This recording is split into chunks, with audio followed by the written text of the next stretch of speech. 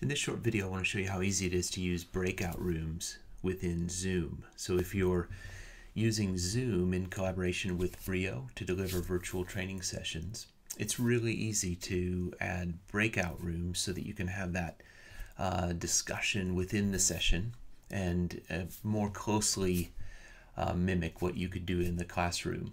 So it's it, one of the things you need to do to start out is to make sure that you have breakout rooms switched on for your host. And that's done in the uh, settings, in the advanced settings.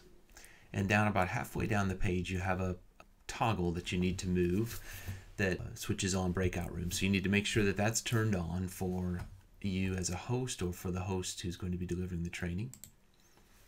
And then once you're in the session, you'll have a, an option here to to configure breakout rooms. So if I click on that, you can see what I'll have. So I have three other participants at the moment, and Zoom will give me the opportunity to uh, break those into uh, rooms of different sizes. So it's it's automatically putting my three participants in one room. But if I increase the number of rooms, then it will start to automatically put those people into different rooms. So if, as I have larger and larger groups, I could have two people per room, I could have three people per room, four people, whatever it is, and then those those groups would be automatically set up. So if I if I even if I leave that on automatically, I can create the breakout rooms and then it's going to give me the chance to move people around if I want to.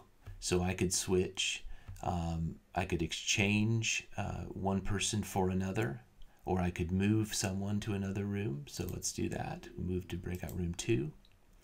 I can rename my uh, breakout rooms. So maybe these are teams or uh, departments or groups, you know, team names and things that you want to you want to uh, add to those breakout rooms. So I can do that just by renaming and uh, changing that here. Okay, if I open those rooms, I'm going to send those people to the to the particular breakout rooms. But I might want to set some options first before I do that. So uh, look at the options here. I've got um, I can move all my participants into the into breakout rooms automatically. I can allow participants uh, to return to the session at any time. I can um, close the room. This is quite a, a key one. Close the room after, say, maybe I want to give them 10 minutes to discuss something. I can have it so that uh, you, it will notify me, the host, when the time is up. And I can also set this countdown timer so that uh, at about 60 seconds, the people in the breakout rooms will know that the room is about to close, so it's time to start wrapping things up. But I can choose from other things too. I could do, uh, you know, 120 seconds. I could do just 10 seconds. Okay, so I've got a choice there. If I've made some changes here and I want to start again, I can click recreate and that will move people randomly again into, into new breakout rooms. Okay, if I open those rooms,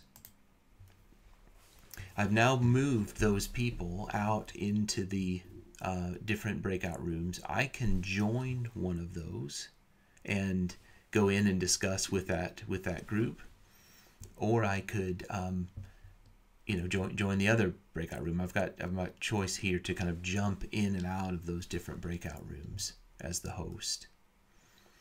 If I want to send a message to everyone. Um, so maybe it, maybe I want to send a message. It's you know five minutes and we need to wrap things up. Then I need to use this broadcast a message to all, and that will get the message into the breakout rooms. So maybe I want to send a link to a, a survey that I want everybody to do, or a, a worksheet, or or a question. You know, at the five minute point, here's the next question. I want to move things along in some way. That's how I can communicate with all of my rooms at the same time. I can't use the chat because the chat is just communicating with the people in the room that I'm in.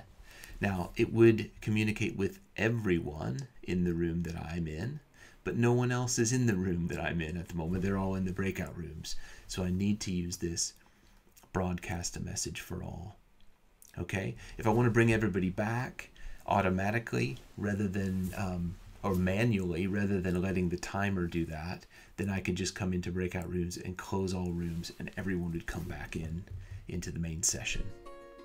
Okay, so I hope that gives you a little bit of a kind of sneak peek on how breakout rooms work within Zoom so that you can make effective use of, of those during your training sessions uh, and blend them with other things that you're using within Breeio.